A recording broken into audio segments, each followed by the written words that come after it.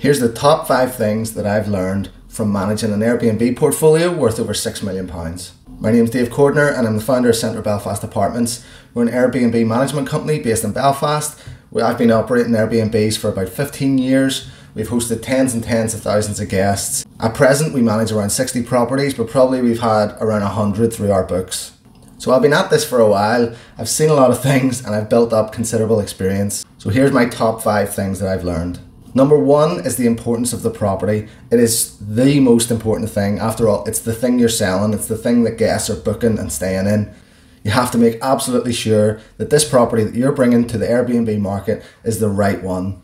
It has to be in a great location that's going to be in demand, one that guests, when they arrive and arrive at the property and check in, they're going to be happy with. It needs to be convenient for them, close to things that they're going to want to see in your area.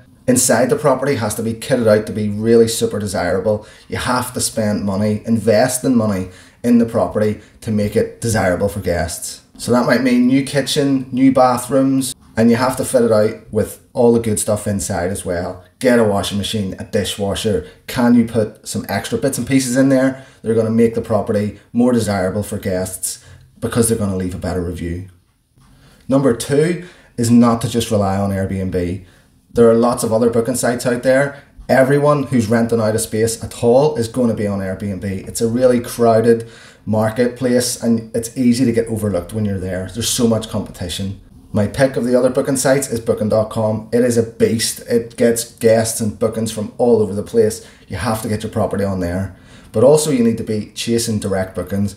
These booking sites, they charge a commission and it's not cheap. It all adds up. But if you can convert bookings to direct or get people to just make bookings with you via your own website, then that's definitely the thing you need to be doing. Number three is that it's so important how you treat your guests. People come into Airbnb thinking it's a quick way to make some extra cash, passive income. It is not. It's a hospitality business. Guests are coming, they have high expectations, they've often paid a lot of money to come and stay in your place.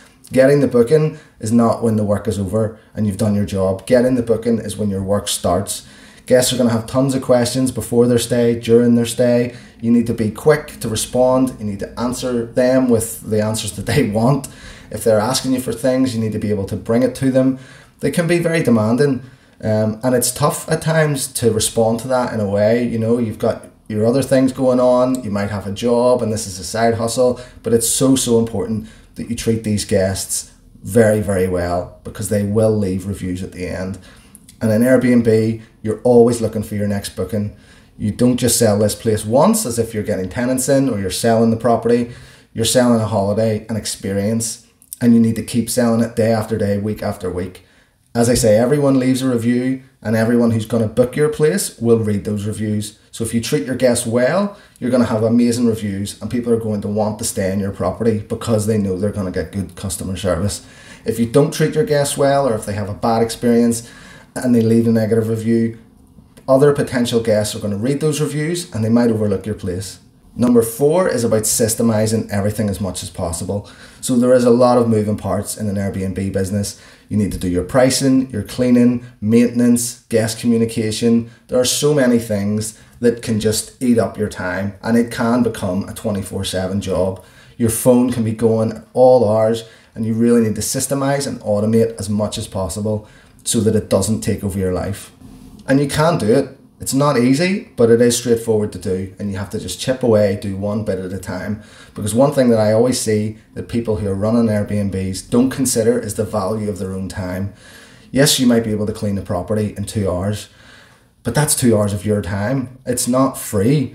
Your time costs money. In my opinion, it is so much better to pay a housekeeper or a cleaner to come in and clean the property for you. You then have those two hours to yourself that you can use to work on the business, generating more bookings, keeping your guests happy. That is a much better use of your time.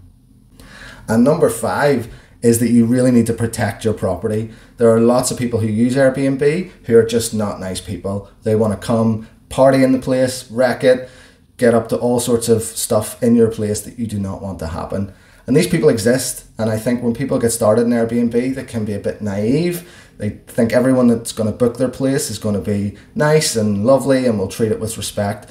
And reality is, most people do, but there are a significant minority of people who won't. And you need to be streetwise. You need to be on the lookout for these people, looking for red flags when bookings come in to try and stop them at source. The key here is to not let the booking in. Once they're in and they're causing damage, it's too late. You need to stop the booking at source. Do not let them into your property. Those are my five top tips for Airbnb. Have I missed anything? Is there anything in there that you have learned in your journey that you think people should know about? Leave me a comment and let me know. If you've got value from this, please hit subscribe so you don't miss out on any other videos. And if there's anything else you want to know about Airbnb, click the link below, book a strategy call, or leave me a comment and I'll do some more content on it.